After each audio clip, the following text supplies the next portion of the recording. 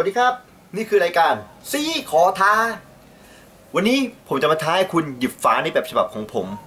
ถ้าคิดว่าทำได้ก็ลองดูนะครับ เริ่มต้นด้วยหาฝามาสองฝาอย่างนี้นะครับ แล้วก็เอาฝาทั้งสองฝาใส่ไว้ที่ร่องของนิ้วชี้กับนิ้วโป้ง อย่างนี้นะครับทั้งสองข้าง แล้วก็มีกฎข้อเดียวก็คือ ต้องหยิบทั้งสองฝาออกมาพร้อม ๆกัน อย่างนี้นะครับอืมผมทำให้ดูอีกครั้งหนึ่งแล้วกันนะครับ นี่นะครับ ใส่ไว้รองสองข้าง แล้วก็หยิบออกมาพร้อมกัน อย่างนี้นะครับทำได้เปล่า